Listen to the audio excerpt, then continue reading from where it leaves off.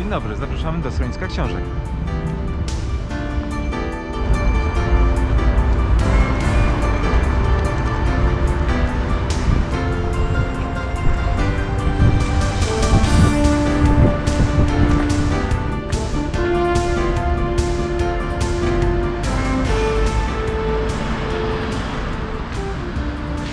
Już jesteśmy na miejscu.